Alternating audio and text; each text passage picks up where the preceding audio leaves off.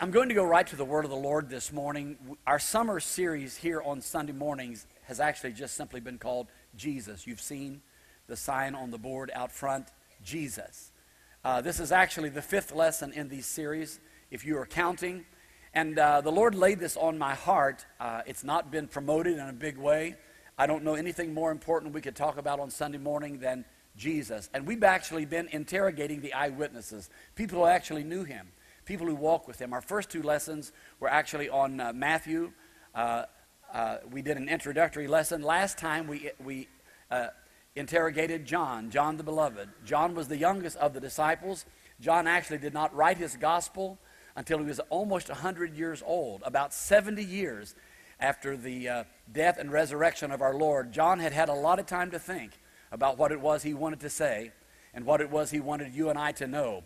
But even though that he thought it through thoroughly and he dwelt oftentimes upon the Lord in the times that he spent with him, it was the Holy Spirit at work in him, keeping the promise that he said, Jesus said, It's expedient for you that I go away, for if I go not away, a comforter will not come. The comforter will not come. But when he comes, he will remind you, he will bring to your remembrance the things that I've told you.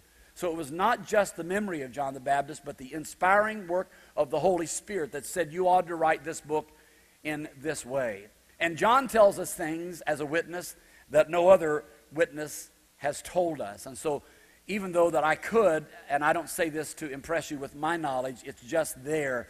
I could spend many weeks or months on each of these gospels, but I'm just looking for some things that are rare and unique uh, and, and some people are perplexed. The world is perplexed that all of the Gospels are not exactly the same Matthew, Mark, Luke, and John. I celebrate the fact that the Holy Spirit went to each witness and cause them to bring out things that the other may have neglected or overlooked or not emphasized in the same kind of way. So we get a broader view of who Jesus really is. The question is not did Jesus exist? History, secular, ungodly history, record the fact that he was born and lived. You can actually find it in a lot of Roman Empire uh, historical records. Uh, Jesus did live. That's not the question. The question is, who was he? Who is this Jesus? When you begin to answer that question, that's when the controversy arises because Jesus either is who he said or he is a, a lunatic. He either is the Son of God, that's who he said he was, or, as one writer said, he's a man that you could equate him with a man who says that he was a uh, potato.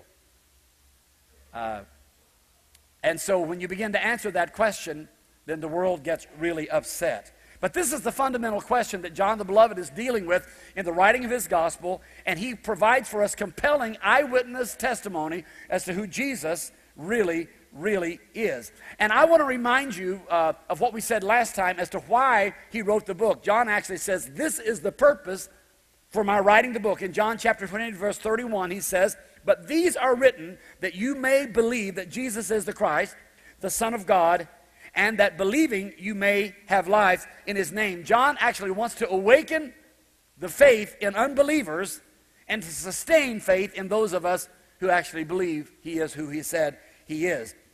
And so, uh, just by way of a little bit of an introduction, I'm going to tell you today, I'm going to just list for you seven things, but because we have so much in front of us and such little time, I'm only going to be able to deal with a few of these, but some you will intuitively know something about. One of the things that John really singles out is Jesus' constant reference to himself as being I am. He would say, I am, and then we follow it with some qualifier and say, I am this or I am that.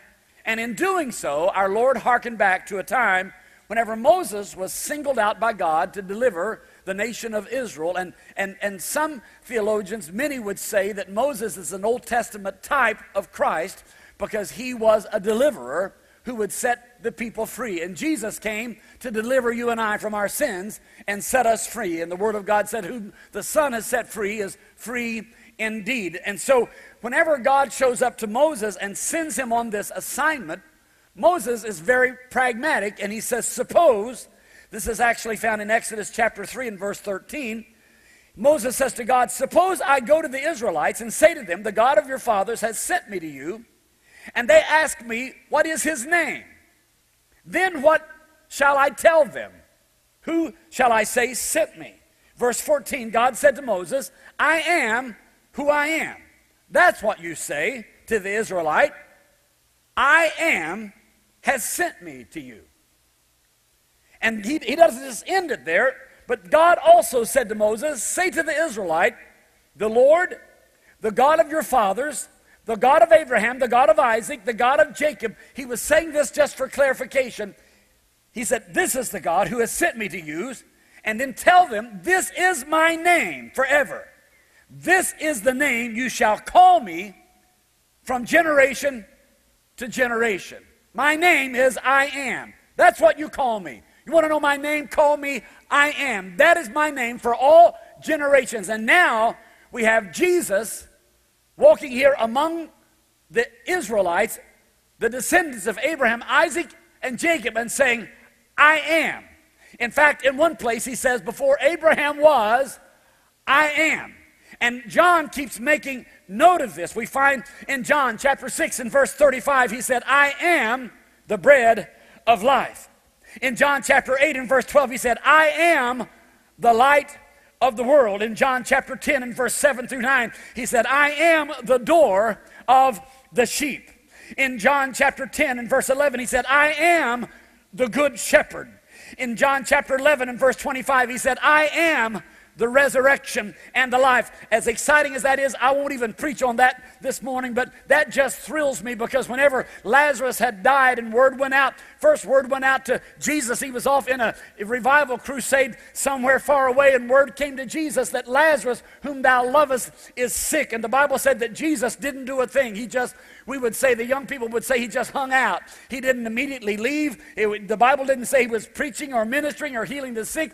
He just hung out. And a few days later, word came that Lazarus was dead. And when he found out that Lazarus was dead, he went back, and the sisters ran out and said, If you had been here, our brother would not have died. And Jesus said, He will live again. And they said, We know, we know, we know he will live again in the resurrection. And see, we've got that idea that the resurrection is a, is a date on a calendar, it's a particular assigned date. And, and we've got that idea that on some date, known only to God, then people like my dad who went to sleep in the Lord, then they'll be resurrected. And we've got this idea. And Jesus said, He'll live again. And they said, We know. We've been paying attention. We know that he will live again that day in the resurrection. And at that point, he gave this incredible revelation to those sisters. He said, Look, look, you're, not, you're going to have a hard time embracing this, but I am the resurrection. He was constantly revealing himself as who he is.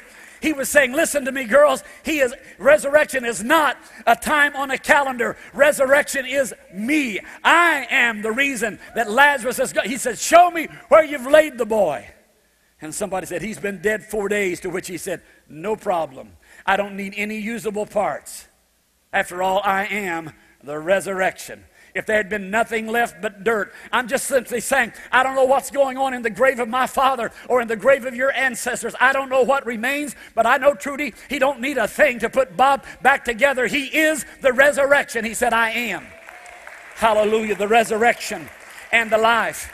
Later in John 14 and, and verse 6, he said, I am the way, the truth, and the life. And in chapter 15, verse 1 through 5, he said, I am the true vine, and so it goes. And John couldn't help but make note of that. He keeps, he keeps using that name that Moses said, From now on, this is what you call me. And, he, and Jesus would keep saying, I am, I am, I am. And so John wrote it down. So in John chapter 8 and verse 12, there he says, Then Jesus spoke to them, saying, I am the light of the world.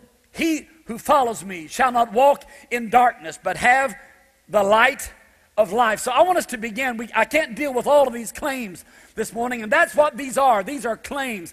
He is claiming to be something more than a prophet, something more than a skilled teacher, something more than the son of Mary, and, uh, and, and as some would say, the illegitimate son of Joseph. He's saying, There's more to me than meets the eye. In fact, I am the light of the world. So we're going to begin with this. If, if this claim is true, this is life changing. I want you to follow me. If this is true, this is life changing. Because he's saying, look, whoever follows me, now he's not talking about an afternoon stroll. He didn't invite, when he called the disciples and said, Follow me, he wasn't inviting them to lunch. He was saying, Lay down your cross and follow me. Deny yourself and follow me till you die. He's, t- he's, looking for a lifetime commitment. He said, Anybody who joins himself to me, anybody who follows me, if you follow me, it's not simply that you're going to be working in, walking in the light. He's saying, If you follow me, you will have me. What did he say? He said, He who follows me shall not walk in darkness, but have the light. You will have me, and I am the light. Everything changes. This is life changing if this is true. So, what does it mean when Jesus said, I am the light of the world. Being the light of the world, because He is the light of the world, that does not mean that all darkness is removed from the world because He showed up. The whole world is not being lightened. In fact, He said, Whosoever follows me will not walk in darkness. What is the implication? There is darkness, and the world is full of darkness. But if you join yourself to me, you won't be walking in darkness. You will have the light. Capital L I G H T. Everything changes. So darkness is not suddenly eradicated from the world, but rather there are places where the light is because people have chosen to come into the presence of the almighty light. So I'm going to tell you some things that I believe that it means whenever Jesus says that he is the light of the world. The first thing I want to spend just a couple of minutes talking to you about darkness. Darkness is not merely the absence of light. It certainly is that. Darkness is a place where light does not exist or if it exists at all, it's in such insignificant amounts it makes it difficulty to see things clearly. Is anybody having a hard time seeing things clearly? Do you ever get perplexed when you glance over toward Washington, D.C., and just wonder what in the world are they trying to do? Do you ever wonder whenever they're printing $8 billion a month and we have no gold to back it up, if they're thinking about, do you ever just look around you and see what's taking place in the educational systems and the stuff that they're teaching as abject truth? They teach that evolution is a fact and that the Word of God is fiction. Do you ever just see that somehow in the world that things are a little bit confused. It's because the world is filled with darkness. See, something needs to dispel the darkness. Have you ever tried to navigate through the house whenever the lights were out? And, and you think you have your bearings and you think you know where you are. But because of darkness, you, you just run into stuff and you don't make it from point A to point B. Have you ever tried to solve a problem, but you were lacking in understanding? One of the definitions of the word darkness applies to the so called dark ages when people just simply were void of understanding and truth was hidden from them because the Bible, Bible was not yet being printed and there was a time of darkness that literally covered the face of the earth. Whenever I'm allowed to go overseas, to a place like uh, Linda and I were on the, in the slums of Kibera in Kenya. I, I, I'm, I'm caught off guard because in our naivete, sometimes we don't really want to give generously to people in other countries because we say, why can't they just plant a garden? Why don't they just raise some goats? Why don't they just milk a cow? I mean, my God, we, we ought to just teach those people to fish and stop giving. You don't understand what generations and thousands of years of darkness does to a country. It literally poisons the land. The, the, the, it won't grow. The water is poison. If you cut yourself over there, it won't heal. You ought to go sometime. I'm telling you, it has been cursed by the blight of darkness and the absence of the activity of the Spirit of God for so long, the earth will not grow and bear fruit. The water is poison and can't drink it, and, and, and, and you cannot imagine what extended fi- darkness finally does to everything. And so, I believe that to say that Jesus is the light of the world, it says three things. First of all, it does not say that Jesus is one of the lights. And we talk about a lot of enlightenment and a lot of ideas that seem to enlighten people.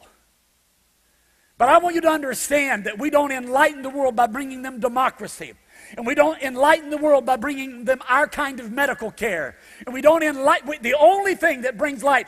Jesus is the only light of the world. Listen, it's either Jesus or darkness. It's either Jesus or blackness. It's either him and there is no other light. You need to hear and understand that. Give him praise in the house.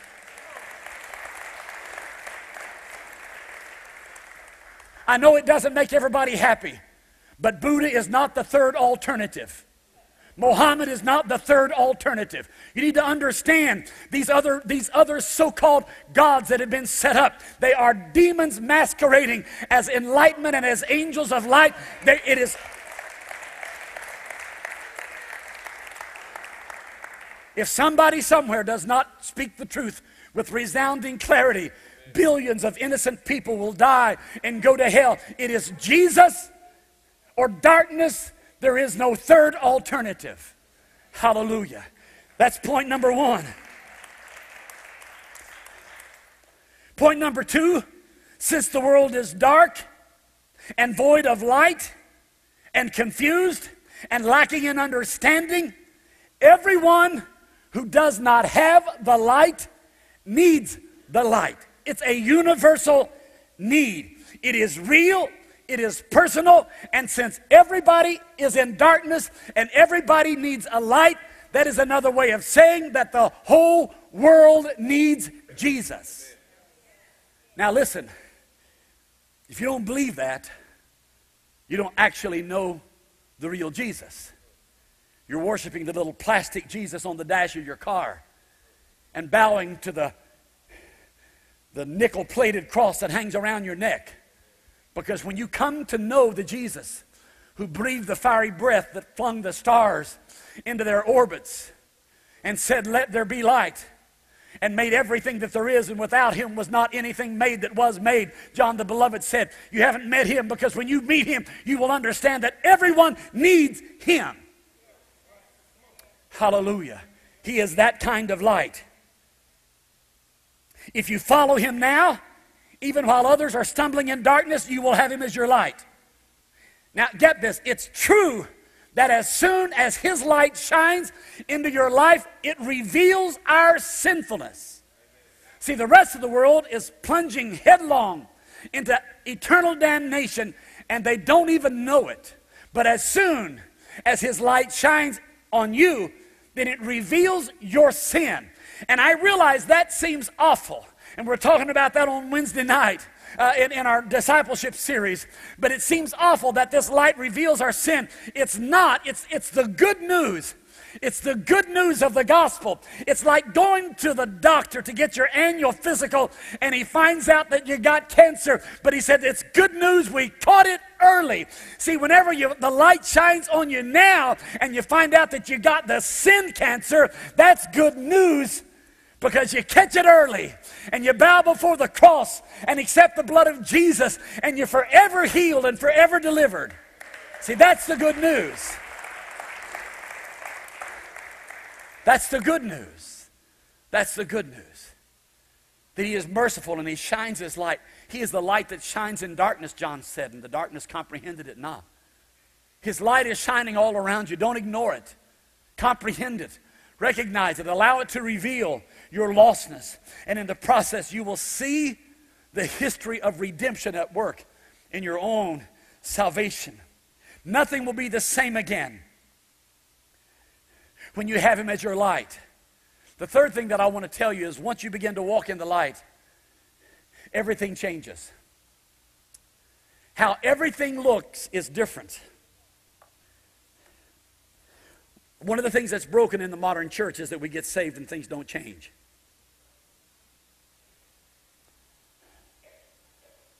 We're not grateful.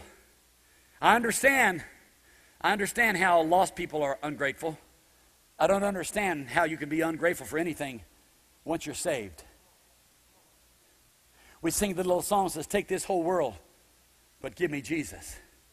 Thomas said, Lord, just let us see the Father. That'll be enough for us. Jesus said, If you've seen me, the, you've seen the Father, Thomas. Is that enough? Is that enough? And he bowed and said, My Lord and my God. You've seen him, you've met him, his light has shined in your life. Is that enough? Everything changes when you walk in the light. The way you see everything changes. The way you observe a simple storm changes. The way you interpret the events of 9 11 changes. The way you interpret the events of a tsunami changes. The way you see the birth of a newborn child changes. See, you come to the understanding. I mean, some of you are mature enough in Jesus to know what I'm saying. I'm not a pessimist. I know right now I'm sounding like it, and on Wednesday night I'm sounding even worse. How in the world can you wear a shirt like this and be a pessimist? That's what I want to know. Yeah, I'll talk about that later. Yeah, this is not the kind of shirt I would pick out for myself. So I had help. I did have help. She's here. She's in the house. She said, Real men wear pink, Papa. It's right there, pink. So I'm putting it to a test. The thing of it is, everything changes, see? Whenever you really understand how dark the world is and how essential the light is, then you actually rejoice at the death and mourn at the birth. Everything is different once you walk in His light because you understand the incredible responsibility and the task of discipleship. I'll be honest with you. I'll, I'll tell you the reason that we ought to be mourning at the birth is because we're falling behind. They are being born faster than we are winning them to Jesus. See, we're, we, every day, every day that the world lasts, Misty, we fall behind. There are more people going to hell now than there were this time last week. And more people going to hell now than there were this time last year.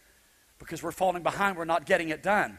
See, it's because we're not seeing. Once we, once we come to Him, we see everything natural disasters and wars and suffering and death. In this light, it will help you. This light will enable you to bear the darkness and the sorrow of the reality of what's taking place around the world. The soft glow of this light will comfort you in your loneliness after the devastating realities that come to us. Jesus said, In this world you will have trouble, but be of good cheer, for I have overcome the world. So I want to move forward in the interest of time. He also said, I am the way, the truth, and the life. So as we plunge into this one, he said, I am the light of the world. We got that. Now, he said, I am the way, the truth, and the life. Now, before we unpack this, and this is the last one I'll do today, before we unpack this, remember why John is writing the book. He said, I'm writing the book that you may believe that Jesus is the Christ. So he's not just another light, he's not one of many lights, he's the only light. And he also said, And I am the way. He's not one of many ways, he is the way. He said, No man cometh to the Father except by me. By the time we get to the 14th chapter of John's Gospel, a lot has transpired. He has seen an awful lot in the life and the ministry of our Lord. But at this point, as he begins writing in this 14th chapter of John, they are at the Last Supper. Jesus has just told them that he's going away. And you can't come where I'm going. You cannot go with me, he said. And then he said, and by the way, Peter, you are going to deny me three times tonight. In other words, I'm leaving, and you guys don't even have what it takes to make it one night without me. And having said that, he says, Let not your hearts be troubled. He gives them so much to worry about, and then he says, But don't worry. I'm leaving, and you can't make it one night without me, but don't worry. Trust me. That's what he said. Let not your hearts be troubled. You believe in God, believe also in me. At its deepest part, he's saying, Don't worry, trust me. Don't worry, trust me. John 1, John 14, 1. And so then Jesus says in the next verse, Don't be troubled. Instead, trust me and trust God. So I'm going to give you three reasons why you should not be troubled. Now, I'm telling you, we live in troubled times. trying again not to be pessimistic, trying to be just realistic. I mean, don't we all get the idea that we trust in the American economy? Man, we trust in it. The, the reason, uh, do you remember whenever uh, Ross Perot, the guy with the big ears, was running for president? Yeah, he would always say, I'm all ears. Say, go ahead. I'm listening. I'm all ears. He was. But he's the one that said America's greatness did not lie in her military prowess, but rather in her economic strength. And when our economic strength goes, so will our military might. How many of you know that our economic might is hanging by a thread? I mean, do you know that? Do you really know it? Do you know how much money we all owe?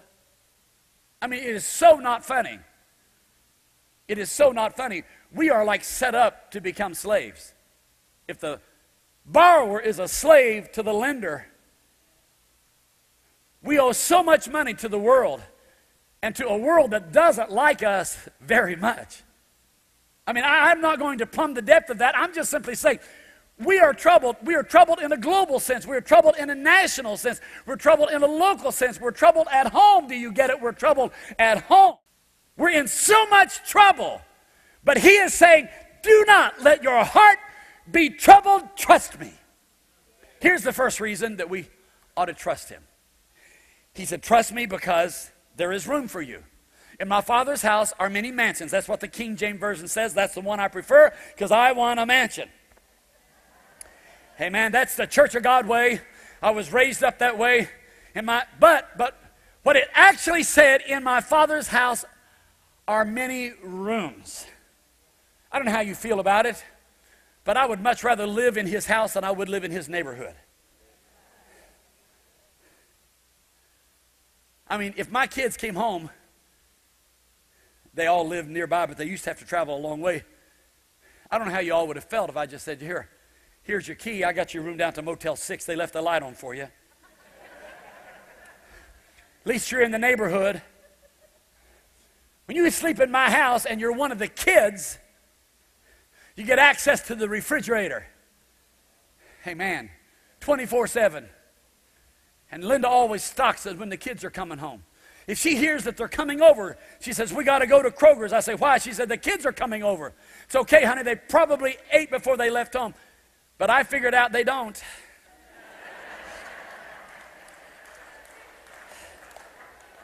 they do not. Because they're pretty sure she'll have it stocked with their favorite stuff. Stocked with their favorite stuff. He said, In my father's house are many rooms. Don't fear. Don't let your, listen to me, don't let your shame trouble you.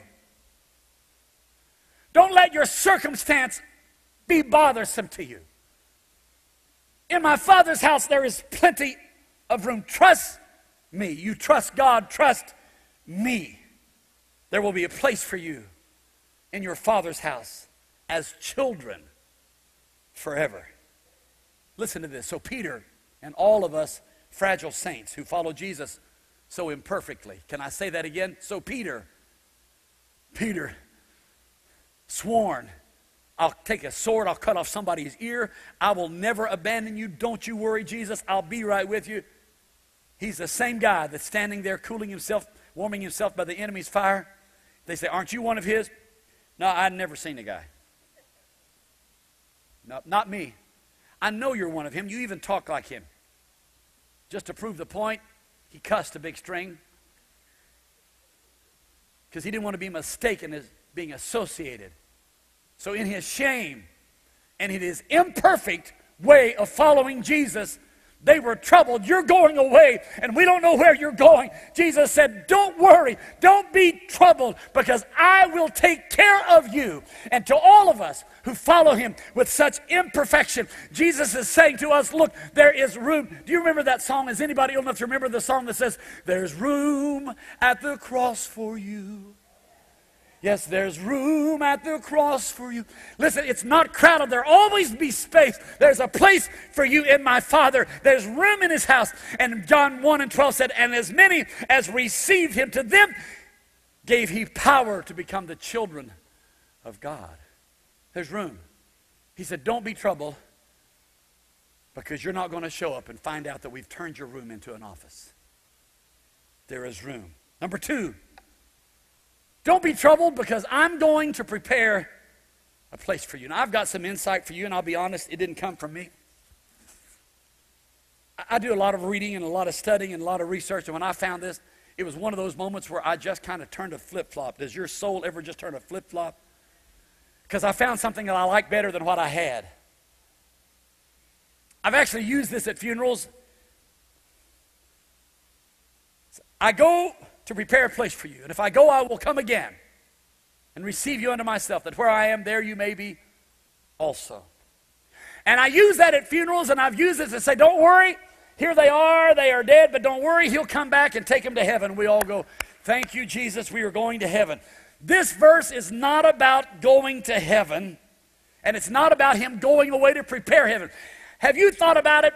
But this writer asked the question Do you really think that heaven is in a constant state of construction and they're tripping over sawhorses and piles of dirt and stuff and have been working for 2,000 years on your, but you just can't get it right? I mean, and we've even preached it. You know, he made the whole universe in six days, but my mansion, it's going to be something. They've just been working on that bathroom vanity for the last 2,000 years.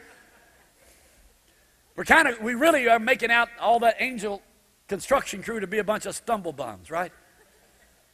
And what we're really saying is things are imperfect in the presence of God. God's having to constantly explain, excuse the ladder in my foyer, we're under construction. Heaven's got all these signs and detours because heaven's under construction. I mean, I'm not making fun, but kind of makes sense to me. That's probably not how it is. So Jesus said, I'm going away to prepare a place for you. Actually, in Matthew chapter 25, Jesus is speaking. He said, Then the king will say to those on his right hand, Come to you, the blessed of my Father, inherit the kingdom prepared for you from the foundation of the world. So in that verse, he said that it was already ready from the foundation of the world, and now we got him still working on it. So I think that there's an incongruency there that we have to deal with. The house of God is not in disrepair. The sweetness of fellowship of heaven is not disrupted by jackhammers and construction sounds. So, what preparation must Jesus have been talking about? I'm glad you asked. At the time our Lord is speaking, sin has not been atoned for. Jesus, the Lamb of God, who would be slain for the sins of the whole world, has not yet been slain. The wrath of God upon a condemned humankind is yet unsatisfied. And in a few hours from that time, about eight or nine hours from the time that our Lord is talking, He is going to go to the cross to become a curse for us according to Galatians 3:13 and to bear our condemnation according to Romans 8 and 3 and to endure the bruising of the Father in Isaiah 53:10 death is yet to be defeated and Jesus is about to lay down his life and take it up again from the jaws of death. And so every obstacle, I want you to get this. When Jesus was talking, he was saying, Look, there is a place, but you can't get there. See, that's the issue. There is a place, there is room in my Father's house, but you can't get there from here, so I'm going to prepare the way. In fact, you might say that I'm going to go install a door. He said, I am the door. The door. You got this room, but there's no door. You can't get in. You're not qualified. The barrier of sin, the curse, it's not yet been dealt with. He said, I'm going, and where I'm going, you can't come. I'm going by way of Calvary. In just a few hours, I'm going to take care of this. Trust me. Every obstacle between us and your room, everything between here and the barrier between you and the Father's house is going to be removed in the next three days. Jesus confirms what I'm saying to you in verses 4 through 6 when he says, and where I go, you know, and the way you know. Verse 5 Thomas said, Lord, we do not know where you are going. And how can we know the way? Jesus said, I am the way. I am the way. You getting that? I am the way. I am the truth. And I am the life. And no one comes to the Father except through me. We got some work to do here. I got some work to do here. I've got to go. You can't come, but when I go, trust me, everything will be fine. I'm going to open up the way. I am the way. I'm going to confirm the truth. For I am the truth. I am going to purchase your eternal life because I am the resurrection and the life. We do not need to be troubled because we are imperfect, wrath deserving, unqualified followers of Jesus. Because this night, Jesus is going to purchase our forgiveness and become the door and become the way and reveal the truth and impart the life. Therefore, he says, Trust me. I'm going to close with this if someone will come. The third thing he says, and don't be troubled, because when I come, I will, let me just read it in verse 3, chapter 14. And if I go and prepare a place for you, I will come again and will take you to myself, that where I am, you may be also. Now, when I really got this, I really liked it. He didn't say, I'm going to come and take you to heaven. We're not just going, that city that John saw was 1,500 miles wide, and 1,500 miles long, and 1,500 miles high. 1,500 miles is a long way. Somebody living in California, while we're living here, about 1,500 miles, give or take 100 or two. We don't have really much of a relationship with them. It would be possible to be in the city. He said, I'm not coming to bring you to my town. I'm not coming to bring you to my country. I'm coming to bring you to myself. I want you to get this. Everything just changed. The language, I go to prepare a place for you. There's a room for you in my Father's house. But when I come, I will take you to myself. It changes from place to person. I'm not just bringing you to a place, but I'm bringing you to myself. Sometimes I travel, and sometimes the guy who invited me to speak says, I'll pick you up at the airport. And sometimes I get to the airport and I'm looking for that familiar face. And I stand there, bags in hand, looking for somebody. Out of the crowd steps a stranger and says, Are you Mitchell Tolle? Yes. Well, I'm your ride. And I'm like, Really? I didn't even come to see this guy here. This is strange. I'm in the right place, but I don't see the right face. And Jesus said, When I come, I will receive you to myself. Don't be troubled.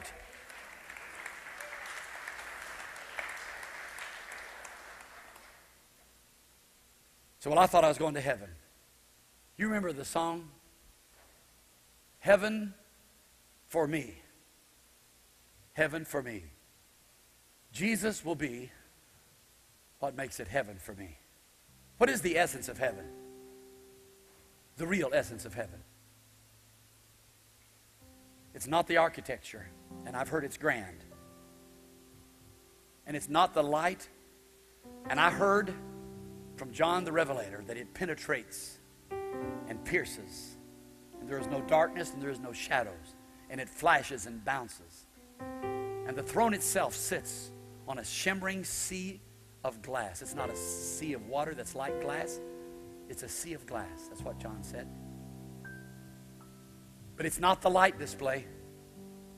Heard that there's a tree of life there, bears all manner of fruits in its season, and a river of life. Sounds wonderful. Mansions, walls of transparent gold and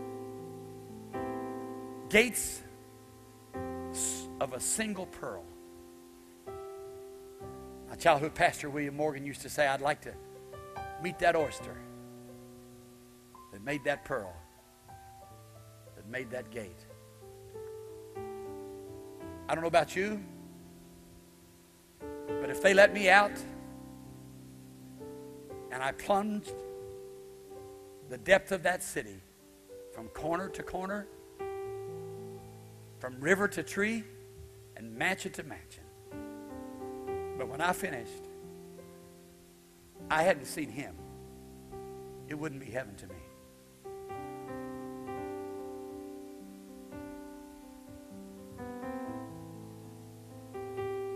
My friend Rusty Goodman used to sing a song that said, When you finally make your entrance to that city of jasper walls and bright golden avenues,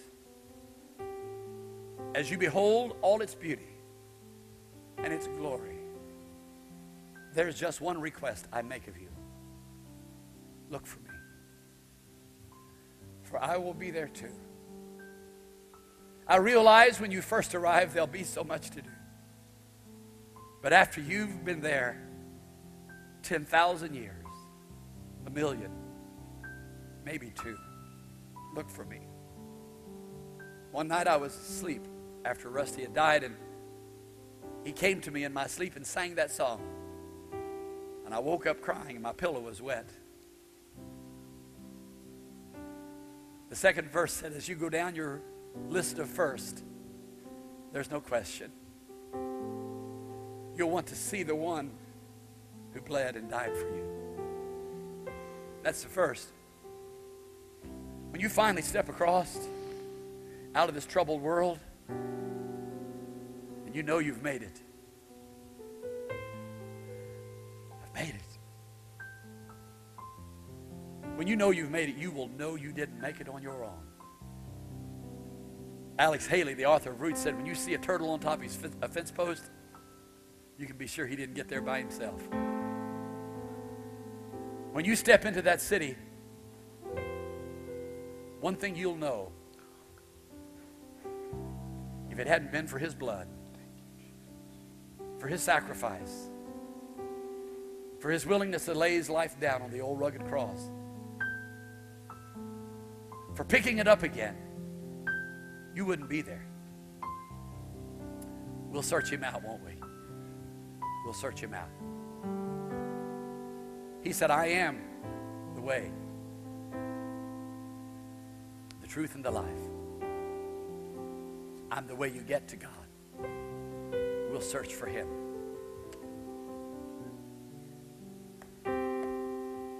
They took John and uh, boiled him in oil. They actually did. Put him in a pot, boiled him in oil. No historical writer talked about that. We don't know how that scarred him. If it didn't, we don't know. We know what it should do. It should have killed him, should have boiled his skin right off. It didn't kill him. They did that to him just because after 60 years, 60 years after Jesus was gone, that old bent over man is still telling. All the rest of the disciples are dead. And as the light danced in his eyes, he would tell them, I was there. I was there the night he walked on water. I was there the night the storm arose and he spoke to the sea and said, Peace be still. I was there the day that he fed the 5,000 plus the women and children. I was there the day he touched the casket and stopped the funeral parade and told the young man to arise. I was there. I was there. I saw him die on the cross. I was there. See, not all the disciples was there, but John was at the cross. And Jesus looked down from the cross and said, Take care of my mother. Mom, move in with John. I took care of Mary till she died. 60 years later, his faith was so unwavering and so unmoving that they just tried to shut him up so they boiled him in oil. It wouldn't kill him. So then they put him in exile on the Isle of Patmos.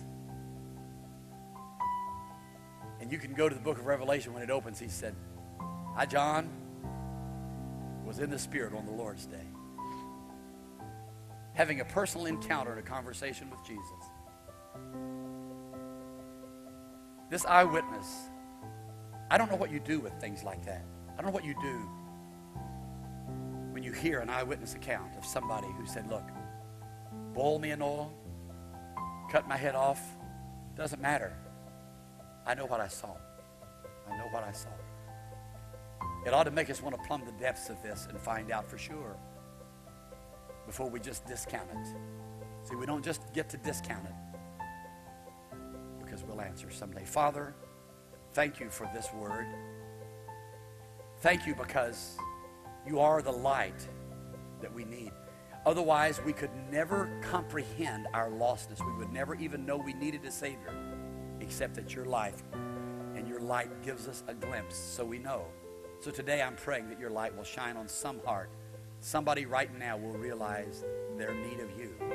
And God, that you will speak to them and they will be open and receptive to this truth.